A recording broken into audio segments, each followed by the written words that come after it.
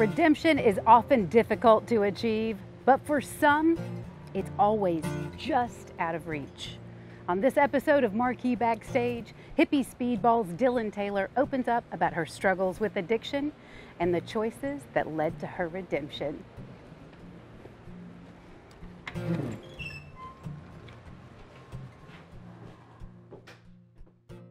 Dylan, tell us about hippie speedball. Hippie speedball is exactly what it sounds like. Like I named it after the players. It originally started out with Dennis Drummond, Daniel DeMonico, John Bonfame, and Kirby Bland on drums. And the contrast between the two guitar players, Dennis is more like dark bluesy, and Daniel's like rock god. And it's like you put them together, and it's like a musical hippie speedball. You have like that madness of both like coming at each other, and it's epic. And then you have John and Kirby like holding down this like, it sounds like a monster walking. Like that rhythm section is just like beastly.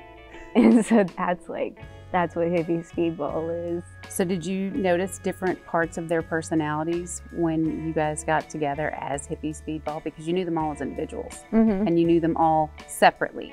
So, Uh-huh. when you came together as one group, was there anything that you noticed that you'd never seen before? like I don't think any of us would have like chosen each other to hang out with necessarily because they're just all so different and it's like just them being together is kind of a because we're all over the map like politically and everything else and it's just us being able to work together to produce the music that we produce is kind of cool I think it's one of those things where we just kind of go together and it works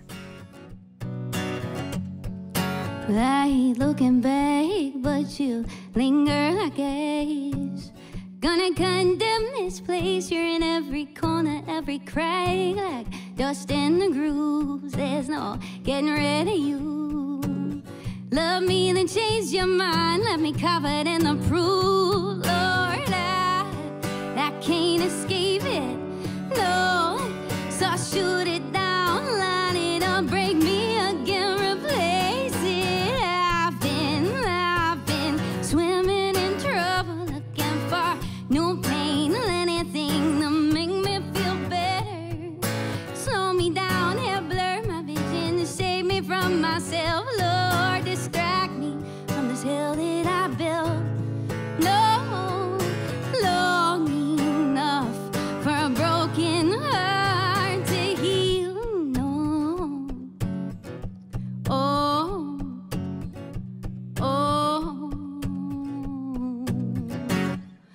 Replace these eyes with something new that sees something other than you.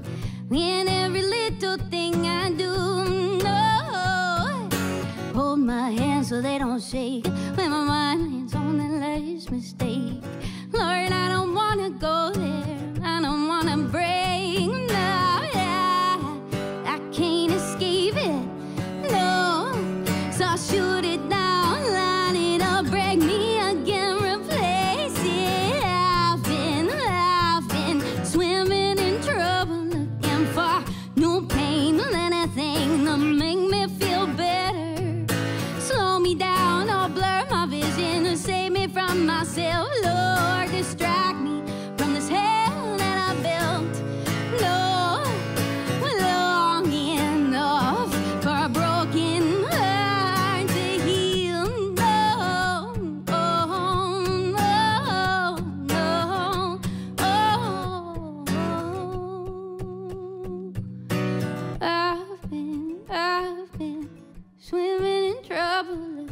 for new pain,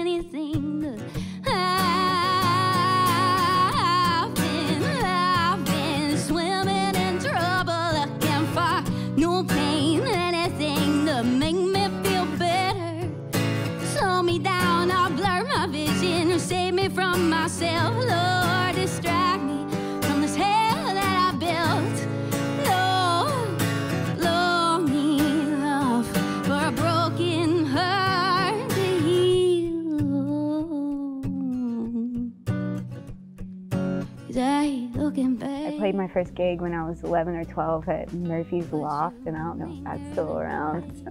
I made two dollars. So culture shock for sure. Mm-hmm. Lots of different experiences, but at that time of your life too, when you're I was like 11, almost a teenager, first year of middle school.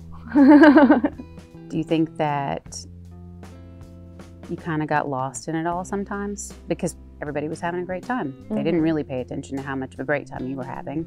yeah, because you aren't uh, technically a player on the board yet in the room. Like, no one's looking to get into your pants. No one's looking to hit you up for money. No one's looking to hit you up for a deal. Like, you aren't a player on the board. You have no occupation of, you have no, like, anything that anyone really wants yet. But it was definitely a lifestyle and probably Mhm. something that very few people at school would have related to. Yeah, I smelled like smoke like almost every day at school. Um, but I didn't, I think that's why I didn't have many friends in school because there was no one you could talk to about it. And also, like, being that age, you don't really know how much of what you're witnessing is safe to repeat. You know, it's like, okay, I'm cool with this. Like, this all seems all right. But, like, if I tell someone else about tonight at school, is this going to be like, oh, we need to have the government go check in on this kid? You know, like, you just don't know, like, what other people's, like, weird line is. And so, I, looking back now, I'm glad I kept my mouth shut about a lot of things, you know. So when did you notice that it was hard to keep up with that lifestyle? when I couldn't like go a day or an hour without drinking was probably when I was like, um, yeah, seeing things that aren't there. Did you ask for help? Mm-hmm. I had some family that had been through the rehab process and that sort of thing, and so I was like, okay. and it turns out like my pub company, I think, was going to have an intervention for me like a few weeks after I asked to go, but I tried to detox myself like, and I couldn't without like seeing things and just like physically could not control like like violent shakes. Were you resistant to that support when you were in a weak place in your life? When you when you felt that you needed the help or when someone else felt that you needed it, were you resistant to it at first? Um, I was. My downward spiral was like pretty quick. Like I went to rehab like a month before my 21st birthday. Um, and like I didn't want to go at first. There were a few people in my life who had gotten clean, but back then it wasn't really like, especially in Nashville, like it's like one of the alcoholic capitals of the world, you know. Um, but then I became like physically dependent on it, so I couldn't make it through the night or like wake up and walk to the bathroom without shaking and just like falling out from withdrawal. Um, and so that's what kind of made me. I was like, shit, I can't like, I can't help anyone. I can't help myself. I can't walk to the bathroom. So I'm gotta like figure this out. If that means I gotta go to rehab, I'll go to rehab. And then I ended up like loving rehab. I was like, don't send me home. I was like, can I live with you guys forever? Because it was the support you needed. Yeah, when it was like I could, I became mayor of the women's side of rehab, so I was like in charge of waking people up, and it was like you could be, you could help in some way. It's like I fit in here. Everyone's just as weird as I am, you know. it was cool. So were you able in that environment to see your own impact on other people? Mm-hmm. And like see the potential, I think was the biggest thing. It's like you can see your own potential. It's like when you're not physically dependent on something, it's like, oh, I can move around. I can drive at night without having to worry about getting pulled over. Like I can play shows, you know? It was like a big uh, boost of confidence. I think when I got out, I rode the pink cloud a little too much and kind of dove into like a no man's land of happiness then came out and started being more productive. But I think you were probably able to see the impact that you had on individuals because you had that one on one experience. Mm-hmm. Whereas When- when you play music, you don't really know if you resonate with someone. You know that they seem to be enjoying your music, Mm-hmm. but are you really touching them? Yeah, exactly.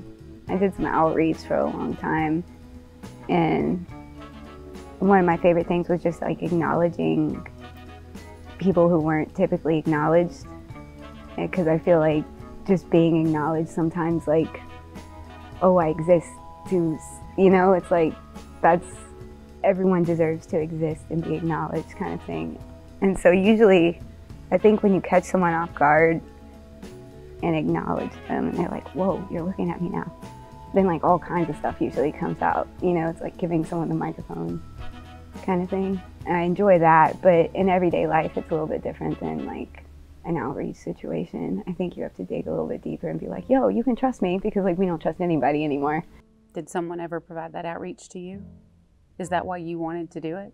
My dad became best friends with this guy named Harley Allen, who was a big songwriter in town. Um, and he was kind of like, I guess, bluegrass royalty. His dad was pretty big in the bluegrass world. And so when he kind of took me in as like a little writer, it was like, oh, okay, like I, if he thinks I'm all right, like we should be good, you know? And so I just kind of got adopted into that world of stuff.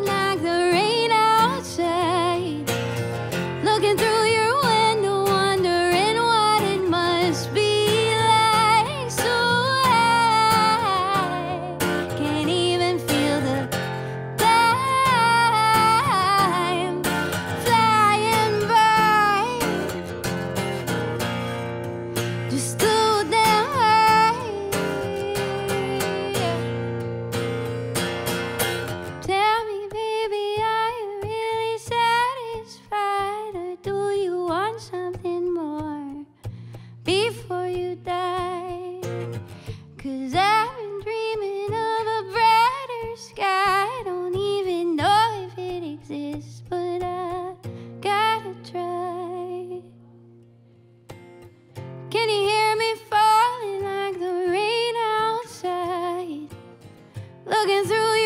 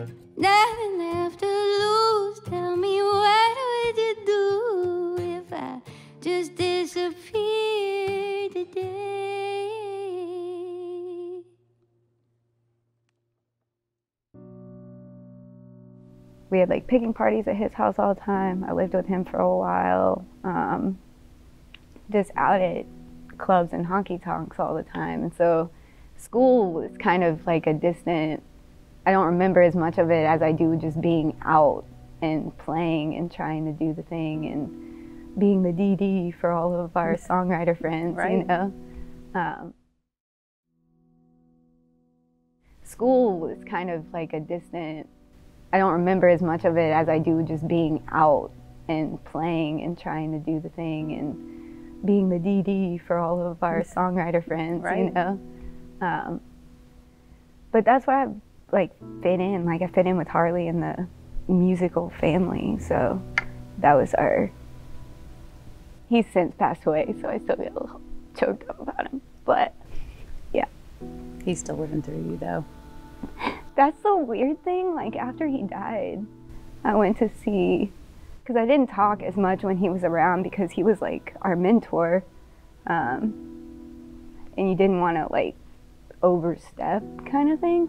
But he was always like super sarcastic and funny, and I think when he passed away, um, I started to like open up a little bit more, and so I went to go see one of our uh, mutual friends and we were sitting outside and I was a chain smoker at the time, so I was smoking. And she just started bawling and I was like, No. She broke it. what did I do? Like, oh my I'm sorry. And she was like, No, it's just really weird because you were like for a second it felt like I was sitting with him. And I was like, Well, that's crazy. So I think that's where my voice kind of came out. Because it was like, he's gone, mentor's gone. He's speaking through you now. it's time to buck up, grow up, and do it for yourself, kind of thing, you know? But I think he inspired it all along. But you were comfortable as long as you were with him. Yeah. You got to be in the shadow a little bit longer. You know, it's kind of like an incubator. It's like I'm going to keep developing and developing as long as I have him here. Mhm. But he didn't.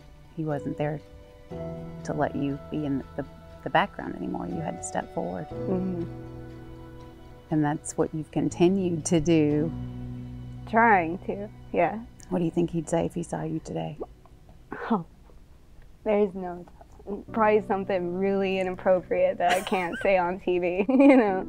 'Cause he is very, uh, I don't know, that's where I get some of my language filter issues. Is definitely from, Colorful. Yeah, definitely from that crowd. Um, but yeah, I think he'd be he'd be proud of me. He'd definitely have like a long list of critiques, I'm sure, but I think he'd be cool with it. Totally cool with it. if he was sitting here with you right now, what would you want to say to him?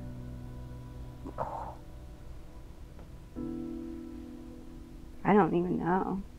I'd probably be like, "You're lucky you went before 2020." I'm not sure you would have gotten along with everybody during 2020. I don't know. Um, probably just that like town and everything kind of just went exactly the way he said it was going to. I don't know. Everything's still here. Does it surprise you the things that you learned from him were exactly the way he said it was? Um, not really, because he was just like that. Like he just knew extra, you know, for better or for worse. That's why he wrote such good songs. Absolutely. hmm So you and I talked a little bit earlier about the finish line hmm focus. Was he like that? Uh, not by the time I came around. Like I think when he was younger, he toured a lot with his dad and his brothers, and um, when I met him, he was living here as a songwriter. He was, and he had like a family, so he's much calmer.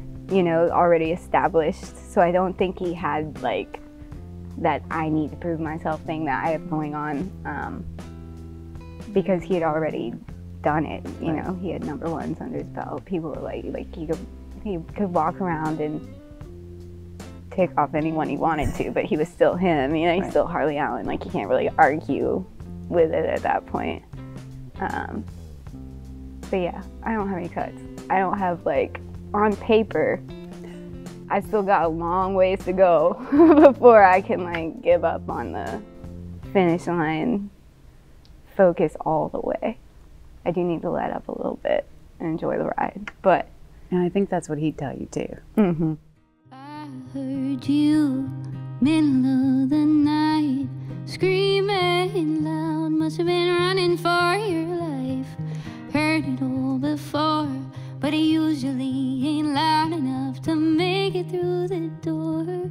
Now I'm standing outside, wondering why my feet won't just keep walking. My mind knows I should just fly. Oh,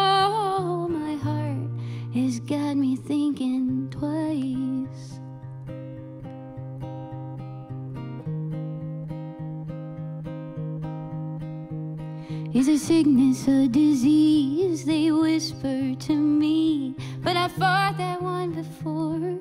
You'd rather ignore the truth we both know you've got deep down in your soul. Say, you can't keep me here. Hell, that's your biggest fear. No,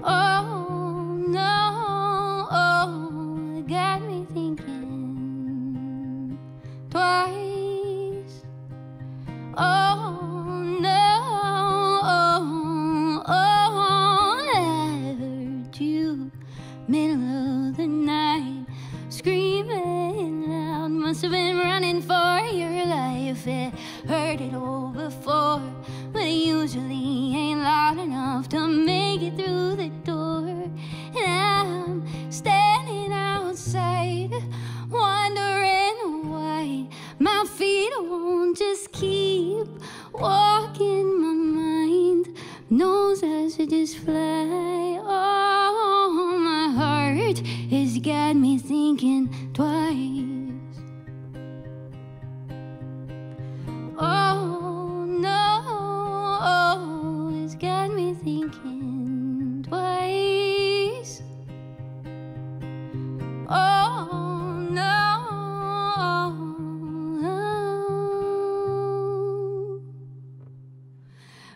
These eyes with something new that sees something other than you. In every little thing I do.